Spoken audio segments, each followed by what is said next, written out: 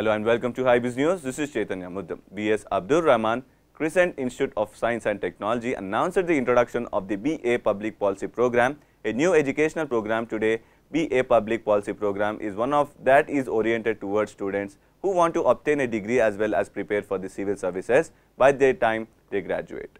It offers a new way for students who have finished their schooling to start their preparation in becoming a bureaucrat.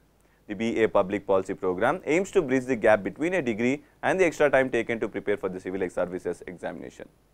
Present on this momentous occasion were the dignitaries from BS Abdur Rahman Crescent Institute of Science and Technology, Dr. Peer Mohamed Vice Chancellor, Dr. A. Azad, Registrar, Dr. Raja Hussain, Additional Registrar, Mr. Ilanchezhian, former Assistant Commandant, CRPF and Program Director, Public Policy. They would be accompanied by Honorable guest Dr. Santhosh Babu, IAS, Mr. V. Kamaraja, IPS, as well as Mr. Shashikanth Senthil, IAS, retired 2009 batch. Thank you for watching Hybiz News.